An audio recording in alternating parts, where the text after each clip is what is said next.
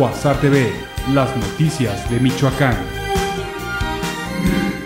Autoridades de los tres órdenes de gobierno trabajan de manera conjunta con representantes eclesiásticos para recibir a los millones de visitantes nacionales e internacionales que arribarán a Michoacán en vísperas de la visita del Papa Francisco, señaló Adrián López Solís, secretario de gobierno. La sola presencia del Papa concitará la movilización de muchos ciudadanos y ciudadanas, tanto del propio Estado como de los estados circunvecinos y aún más allá, creemos, de algunas partes de los países cercanos.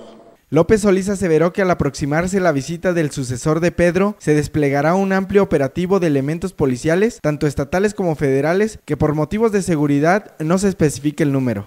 Para Cuasar TV, César Hernández. Solemnidad y verdadera devoción se respiró en Pátzcuaro, Michoacán, en la misa donde artesanos y carpinteros hicieron entrega de muebles que serán usados por el Papa Francisco en Morelia. Y es una donación de Mademuebles, pero no solo de Mademuebles, sino del pueblo de Pátzcuaro por la alegría que nos da la visita del Santo Padre a Michoacán. Estos artesanos dirigidos por Agustín Chávez fabricaron y tallaron en cedro rojo el altar, el púlpito, la mesa de la palabra y la silla que usará el Papa Francisco en la misa que dará a sacerdotes de todo México en el Estadio Venustiano Carranza de Morelia. Para Cuasar TV, César Hernández. Espectacular incendio redujo a cenizas 240 vehículos chatarra que permanecían en resguardo dentro de un corralón del Estado ubicado al poniente de Morelia. Los bomberos buscaron evitar que el fuego se aproximara a una estación de gasolina cercana, mientras trataban de estar atentos por los tanques de combustible de los automóviles y las llantas que tronaban por el calor.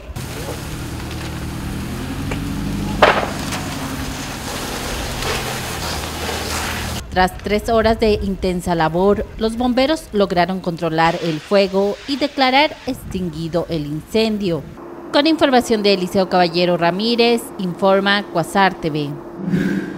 El famoso sueño americano se puede hacer realidad en México con trabajo y dedicación. Así lo refiere Gustavo García Cuevas, agricultor, quien comenzó de cero para convertir a Michoacán como uno de los principales exportadores de papaya a Estados Unidos. Pues es un orgullo que la papaya michoacana sea el primer lugar nacional y desde luego primer lugar mundial porque somos los primeros exportadores de papaya hacia los Estados Unidos. Gustavo nos confesó que de joven fue al vecino país del norte a trabajar dos años para formar un pequeño capital con el que inició. Y no fue fácil llegar a ser el presidente nacional, ya que primero fue necesario posicionar al Estado como uno de los mejores productores del fruto tropical. Para Cuasar TV, César Hernández.